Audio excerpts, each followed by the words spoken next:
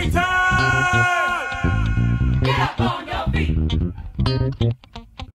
Smile, Pout Pout Fish by Deborah Diesen.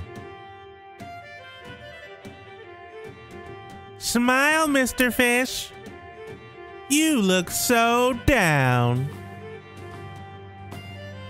With your glum glum face and your pout pout frown. No need to be worried.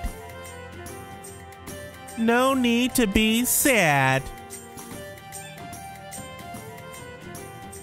No need to be scared. No need to be mad. How about a smooch?